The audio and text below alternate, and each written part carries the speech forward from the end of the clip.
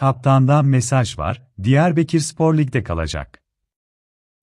Diyarbakır Spor'a devre arasında dahil olan ve son haftalardaki başarılı performansıyla öne çıkan kaptan ve kaleci Zülküf Özer, bu haftaki Fethiye Spor maçının önemine dikkat çekerek camiaya destek çağrısında bulundu.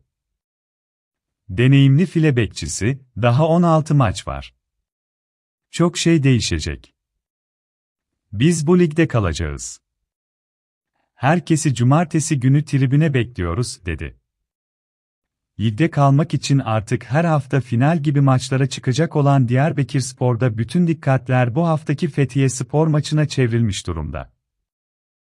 14 puanı bulunan Diyarbakır Spor, 23 puanlı rakibini yenerek ligde kalma yolunda umutlarını artırmak istiyor.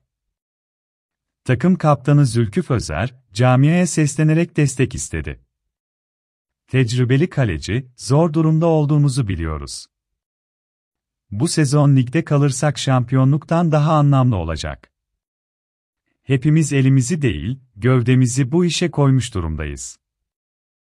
Bir takım kolay lige çıkmıyor. Şehir olarak bunun bilincinde olmak zorundayız, dedi. 16 finalimiz var. Kolay maç olmadığına dikkat çeken Zülküf, geçmişe takılmak bize bir şey kazandırmaz. Telafi etmek için önümüzde çok fırsat var. Bu hafta önemli bir rakiple oynayacağız. Kazanmak zorundayız. Sonuna kadar savaşacağız.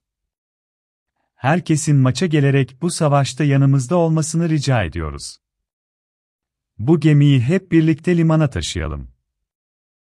Göreceksiniz her çok farklı olacak ifadelerini kullandı.